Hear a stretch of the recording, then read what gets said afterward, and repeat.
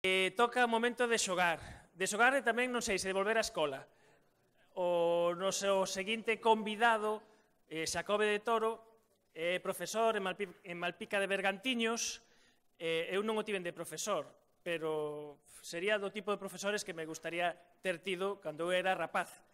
Eh, dos profesores que están todo, todo rato pensando, eh, montando historias, trebellos, para que os rapaces fagan 50.000 cousas, aproveitando absolutamente todas as tecnoloxías disponibles, e hai absolutas maravillas, e, bueno, e ademais de facer todas estas cousas, é desta xente que quen de facer centos ou milleiros de kilómetros para quitar fotos a pasariños e demais seres aí pola natureza. E son das cousas que fai eh, Xacobe. E vos vai poñer a proba. Mm, a organización non se fai responsable de egos ofendidos, de xente que mm, ten unha longa trayectoria en ciencias e agora descubre que os seus coñecementos non pasarían o test da primaria. E ata aí estamos. Aquí, hoxe con todos, entón codome, quedome coas palabras que falaba antes José Luis, que se a universidade era a zona de xogos, o, o instituto, o centro de estudios ten que ser a ludoteca. Entón, o que vamos facer aquí hoxe é unha cousa que fago casi todas as semanas como meu alumnado, que é un xogo, e para eso empregamos os dispositivos móviles. Entón, eh, vos pediría que algún xa fixechedes que xa o vin, que descargarades a aplicación Kahoot, que a teño aquí detrás, K-A-H-O-O-T, se non tedes sitio no voso móvil para descargala, non pasa nada. Entrades no, no navegador, o que teñades, e poñedes kahoot.it e xa entrades tamén para poder xogar. Bien, dentro un momentiño vos darei un pin, un código, como este que teño aquí, non é este, ahora cando abra o xogo será un diferente, metemos o pin, de acordo? Non metades este aínda, esperade, e despois de que metamos o pin, temos que poñer o nome na, na diapo que aparece seguinte, ¿Vale? ¿Vale? Así. Entonces aparecerá nickname y ahí hay que poñer o nome. Vos lo digo porque ás veces os alumnos a primeira vez se me lían e sobre todo se me lían os profes. E como algúns sodes da idade dos meus compañeiros, pois pues, por eso aviso. Entón, eh, tédelo, verdade? Tedes como é. Vale, pois pues vamos alá entón co, co xogo. Por favor, Adela, dalle aí, teño unha compañeira botando unha man. Vale, pois este é o código que tedes que meter nos vosos móviles, de acordo? E logo os pedirá que poñades o nome. Comprobade de que vayades aparecendo aquí. Ides competir todos contra todos. E vai haber un primer premio. E a organización me prometeu que para o primeiro que gañase habería unha cervexa e unha camiseta. Podo dicilo, non? Entón, eh, xa non é xogar, es que agora hai a presión de unha camiseta e unha cervexa. Quen non daría unha vida por, eh, en algún momento da, do día por esa cerveza e por esa camiseta? Eu estou super contento coa miña. Bien, xa temos 56 xogadores, 58, mi madre, cantos, cantos, cantos. 68, vamos a dar, pues non sei, un minutiño, 75 xogadores. Alguén pode sacar unha foto disto? Entón, son preguntas de ciencias de primeiro, eu son profesor de biología e xeloxía, entón son preguntas moi sinxeliñas, vale? Se si nos sae mal, nada, foi culpa das cervezas, todos tranquilos. Sai aquí a pregunta e o vosso móvil é un mando, tedes que escoller a cor, que se corresponde coa, cor, coa, coa resposta correcta. E tedes 20 segundos por pregunta.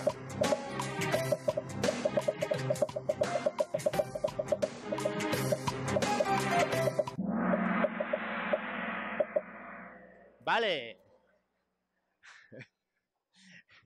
Todo o mundo tiña claro que a Terra xa ten o seu tempo aproximadamente entre 4.470 millóns de anos, segundo a Wikipedia, máis menos uno, de error.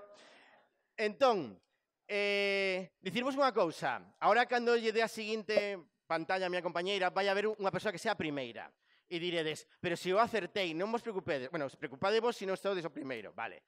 E iso é porque aquí hai que ser o que lle dé a resposta correta, pero o máis rápido, de acordo? Entón, o que lle dé a resposta correta e máis rápido vai ter máis puntuación que outro que tardou pois, medio segundo. E ademais, se si contestades máis respostas correctas continuamente, obtedes o que se chama bonus strike, que é, é dicir, vou sempre respondendo correctamente, vale? Insisto, o primeiro ten premio. Vamos a la co seguinte, entón. Antes era entonces sobre a historia da Terra. Brais Noraboa, Emilio Río, vai segundo. Saberedes que vos van dando información aquí de quen vos adianta no móvil, vale? Vamos coa seguinte pregunta, que a seguinte pregunta é sobre o noso sistema solar. Entón, cal será a idade do noso sistema solar?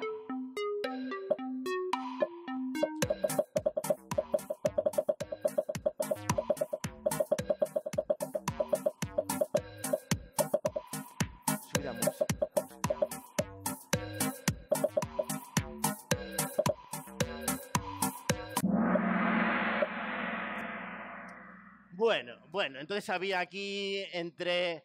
Estaba a loita entre os 4.600 e os 13.000 millóns de anos, que iso sería orixen, de acordo, eh, eh, do, do noso sistema solar, así que... Perdón, non, non. Bueno, vamos coa seguinte preguntiña, a ver que os parece a seguinte que vos teño preparada. Emilio, Emilio, moi ben, moi ben. Emilio vai aí de primeiro. Seguindo, segundo, Quimio Quiños. Pero vamos, que temos 20 preguntiñas. Vamos alá. Segundo a humanidade, segundo a humanidade, a Terra, eh, non sempre xirou do do Sol. Eh? Un momento que diciron que non, que estaba en outro sitio. Como se chama esa teoría?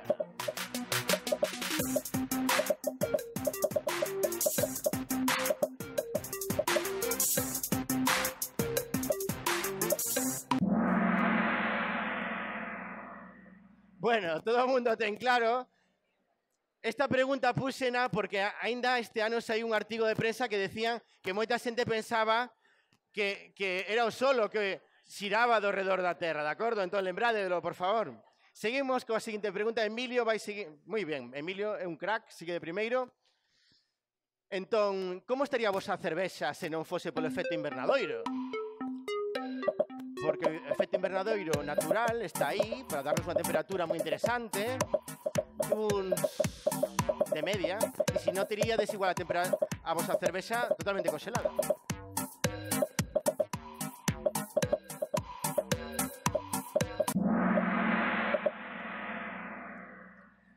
Bueno, pois esta é unha pregunta que sempre abrállanse os meus alumnos cando todo o mundo coñece o feto invernadoiro, pero creado, originado polo home, pero existe un natural que é moi importante para a existencia da vida. De acordo? Si non estaríamos a menos 18 grados centígrados. Estaría de temperatura media, eh? Emilio, moi ben. Seguimos aló. E seis obtiveches bonus strike. Moi ben. Ai, sí, sí, que observa o noso astrónomo, porque hoxe tamén vai de astronomía.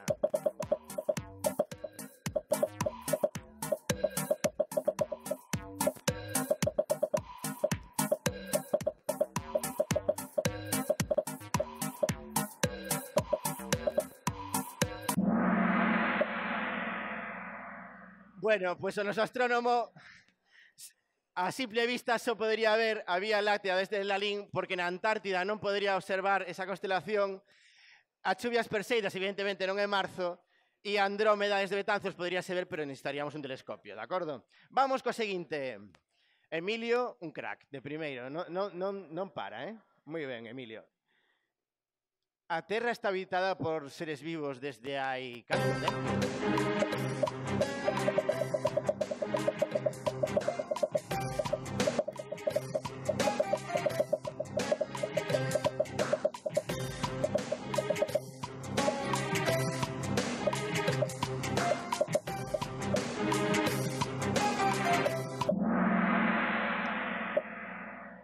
entre 3.600 e 4.000 millóns de anos apareceron unhas formas chamadas estramatolitos, de acordo? Unhas cianobat... Aí, hai moita tensión aquí, eh? hai tensión, xa noto. Ninguén quere atender a miña explicación, pois veña, a seguinte pregunta.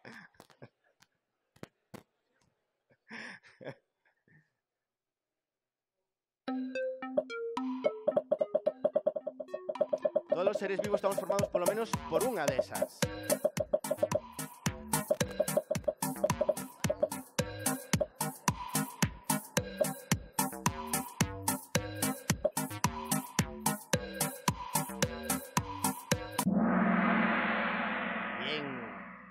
célula é a unidade funcional, estrutural e de reproducción. Se non hai célula, dicimos que non hai ser vivo. Por lo menos un. Emilio, noraboa, onde está Emilio? Que quero ser que... Emilio, moi ben, eres moi rápido, moi rápido. Adiante seguinte.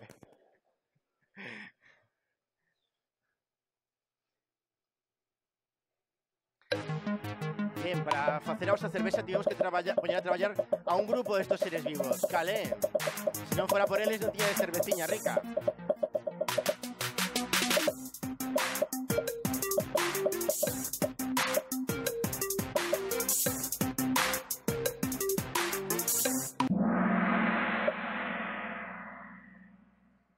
Bacterias. Bueno, as levaduras, as levaduras a metemos dentro do reino dos fungos. Bien, bien. Biólogos por ali, vexo, ¿no? Biólogos ou amantes da cervexa. Seguinte pregunta, Emilio, moi ben. Veña. Estás observando un bicho que ten catro pares de patas pola túa parede. Que grupo será? Unha cascuda, unha araña, unha lagartixa ou unha volvoreta? Recordamos, catro pares de patas. Que poderá ser?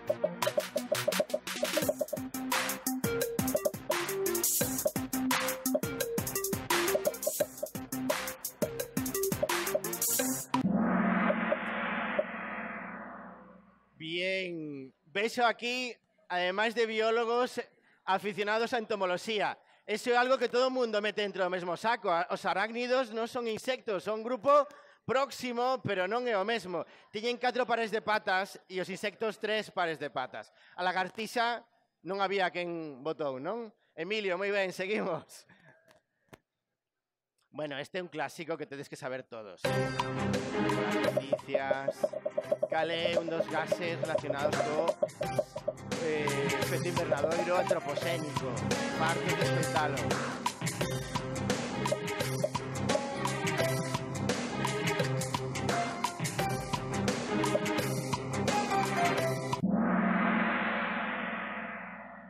Bien.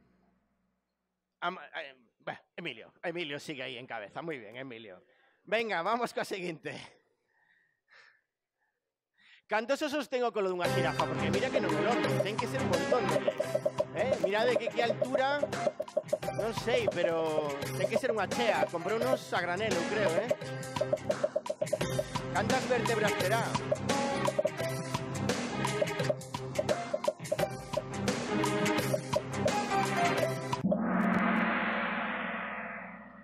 Bien, bien, bien. Os expertos en anatomía comparada, enhorabuena por allí. Evidentemente, os vimos que nos. Pero moito máis longos. Di a Wikipedia que ata 28 centímetros. Eh? Unhas señoras vértebras. Seguimos coa seguinte pregunta. Emilio, bien, bien, aí a tope.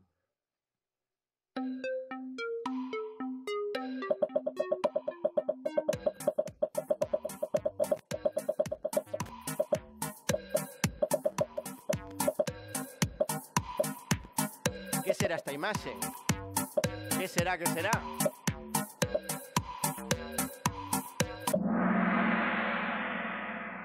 Bueno, pues, células vegetais, víamos ali os cloroplastos verdes que xa nos daban eh, que pensar. Veña, vamos coa seguinte, que tamén está relacionada con esta, a ver, que será? Outra de imaxes, vamos a ver se si a recoñecemos. Vemos esto, ¿qué será? Y parece de ganchillo, ¿verdad? O de crochet. Pero no, un imagen eh. al microscopio electrónico.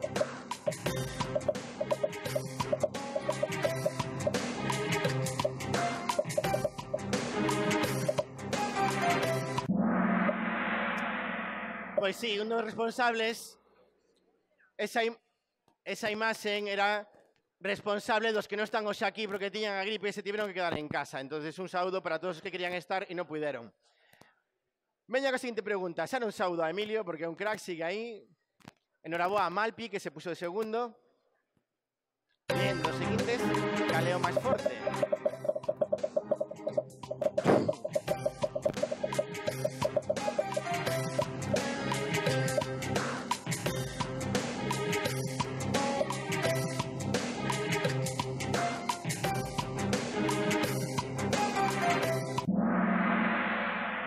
Bueno, pois todo o mundo intuía que formiga é máis, for máis forte porque pode levantar como mínimo, depende da especie, ata 20 veces o seu propio peso. Ui, ui, Malpi, me. Emilio, Emilio. Atención, atención, puídote atención. Non te preocupes, que seguro que tes máis oportunidades. Todo o mundo tranquilo. Bueno, y como decía el Rey León, Hakuna Matata, ¿qué o rey de qué? ¿De dónde?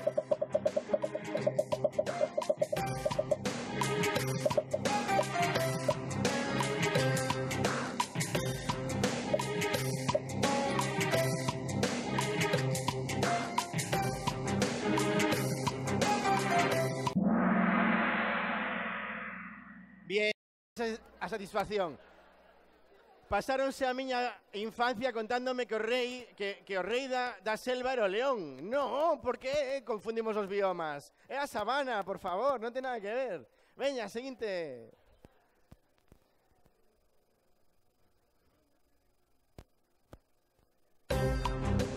Bien, entonces, os asinatos extraense das algas, ata aí todo ben. Unhas algas pardas, ademais. Pero a que grupo pertencen as algas, o grupo do, o división dos cinco reinos, bueno, pode haber máis, sí, pero... Está, estas aedas que fan protistas. As algas pardas metémolas dentro dun caixón desastre que o grupo dos protoctistas ou protistas. Adiante co seguinte, Malpi, bien por Malpi que afianzou aí a súa praza de primeiro, xa está albiscando a cervexa, moi ben por el, Vamos co seguinte. Bien, esta é un pouco para liarvos. Entonces, as células do lúpulo teñen cromosomas como ese, pero que tienen os cromosomas?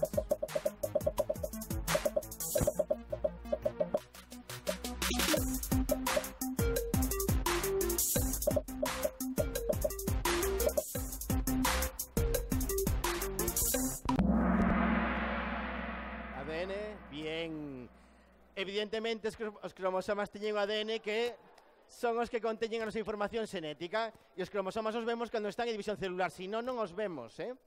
Veña, vamos co seguinte. Bien, entón agora vamos a ver un vídeo de unos segundos, eh? Que pasaría si nunha nave máis grande que esta, como a que estades vendo aquí, que é aquí da BBC, colocamos unha, un, unha pelota estas dos bolos e unha pluma, que pasaría si esta nave lle sacásemos o aire? De acordo?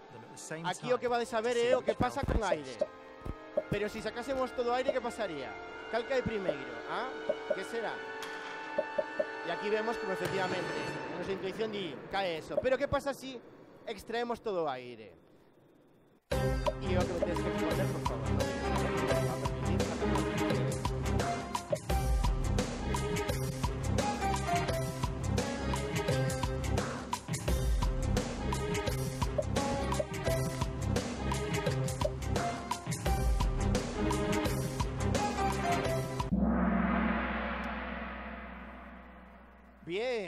Bien, todo o mundo tía moi claro, efectivamente, caerían as dúas ao mesmo tempo porque non habría non, non perdería velocidade por, por, por, por rozamento coas moléculas de aire.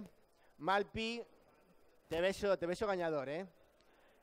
Vamos co seguinte, Emilio Sinto, veña, rápido. Con quen compartiu o premio Nobel esta última? O doutor Ramón Cajal. Con quen? Esta sae de nota, eh?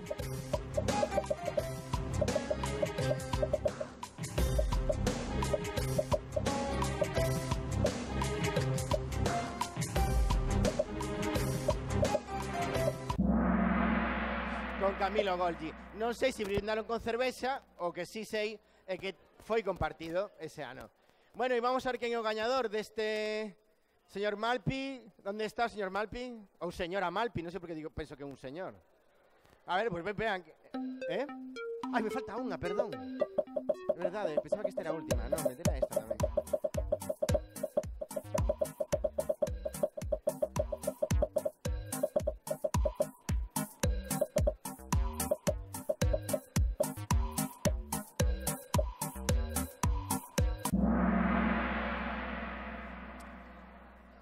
pois estades bebendo cervexa gracias a unha gramínea chamada cebada. Señor Emilio, veña usted para acá. Veña usted para acá. Naraboa, veña.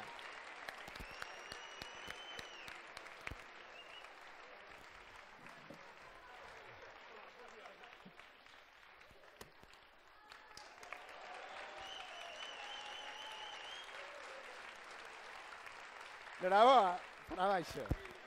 Noraboa tamén a Malpi e Vicentiño. Onde está Malpi? Podemos saber quen era Malpi? Malpi por ali. E Vicentiño? Vicentiño. Hola, detrás da barra. Vicentiño, noraboa aos tres.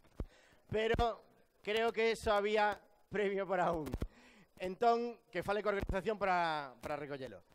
Pois isto foi todo.